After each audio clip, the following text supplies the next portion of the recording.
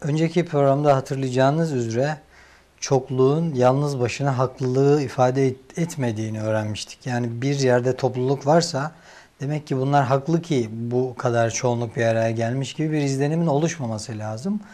Onu ifade eder tarzda mesela bir hayvanların örnek verildiğini görmüştük. Yani baktığınız zaman hayvanlar sayıca çok fazladır fakat o çok fazla oluşları onları daha üstün bir seviyeye çıkarmıyordu. Ee, şimdi bu bağlamda bu hayvan kıyaslaması devam edecek olursa şimdi nasıl ki hayvanların e, dünyadaki varlıkları insanlar gibi bir pozisyonda değil. İnsan hayvanların e, hizmet amacı, varlık amacı insanlara hizmet, yaratılış amacı baktığımız zaman. Çünkü hakikaten nerede hayvan varsa baktığınız zaman onların o hizmetleri hep insanlara dönük oluyor. Yani hani yine Bediüzzaman'ın bir e, çizmiş olduğu bir yaşam piramidi vardır. İşte cansız varlıklar canlıların imdadına koşar. E, bitkilerin imdadına koşar. O bitkiler hayvanların imdadına koşar.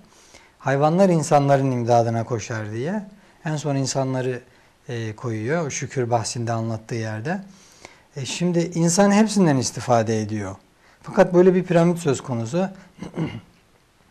şimdi dolayısıyla şimdi insanlar kendilerinden beklenilen o görevi, vazifeyi yerine getirmeyen insanlar işte o alt sınıftakilerden çok da farklı olmuyor.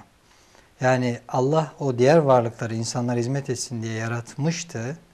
Bir imar yapıyorlardı. Çünkü mesela karıncalar baktığınız zaman yerin altında öyle koloniler kuruyorlar ki ve onların o e, hizmetlerinin ozon tabakasına bile fayda sağlandığı söyleniyor bugün mesela. Ya onlar bile yine hani bir anlamda insan için çalışmış oluyor. Ee, insanoğlu şayet vazifesini yapmıyorsa o zaman e, diğer varlıklarla arasında çok bir fark kalmıyor. Bütün varlıklar vazifesini yapıyor ama insanoğlu yapmıyor. E, vazifesini yapmayınca o insan o seviyede kalır mı?